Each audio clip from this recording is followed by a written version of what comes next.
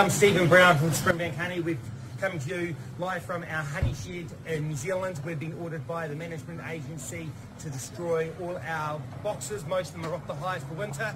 And they found two swabs with AFB out of six swabs throughout our area.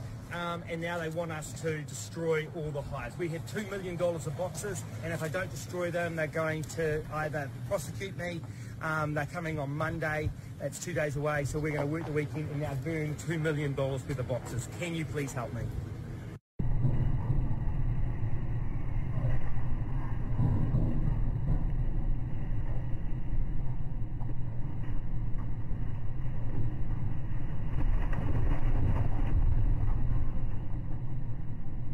Hey, everybody, some more really disturbing news as far as bee colonies being forcibly destroyed by governments.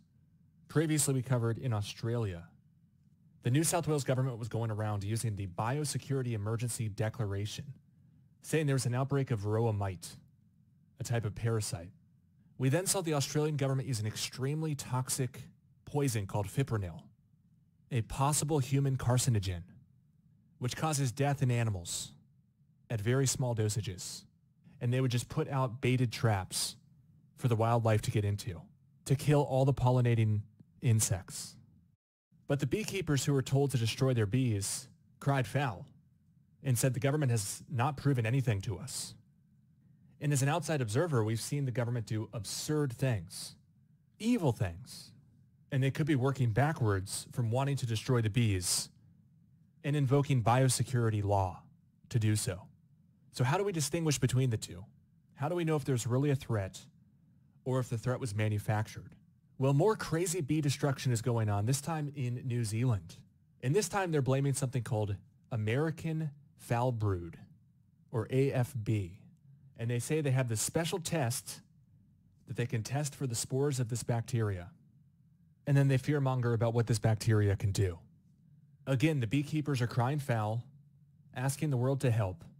And I'm no expert on bees, but it sure seems to me that the government has not proven that there's a real threat here.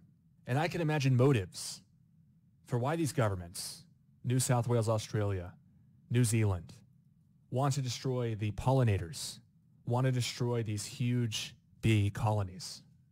So here's an update out of New Zealand. I'm not saying that American foul brood isn't a real threat. I'm not sure. But I do see a huge issue with governments unilaterally deciding to kill millions and millions and millions of pollinators without any oversight, without any auditing, without any accountability.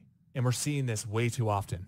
So is it true that the Australian bees are infected with parasites? Is it true that the New Zealand bees have this bacteria? Or is this a manufactured crisis to kill all the bees? I'll let you decide.